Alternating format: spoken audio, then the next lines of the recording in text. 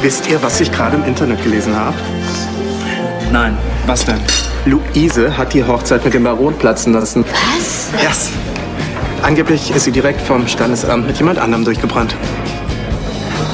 Christian, wer wird das wohl gewesen sein? Hm?